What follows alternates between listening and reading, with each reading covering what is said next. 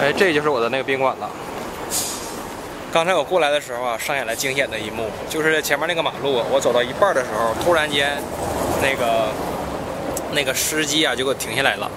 现在我看他你这你这么停了，我就我说那我过吧。结果我一过的时候，正好那边来了一辆消防车或者是一个急救车，嘚嘚嘚响，我当时没注意啊。完我过的时候才发现，他根本就不停的啊，我才意识到他是一个急救车。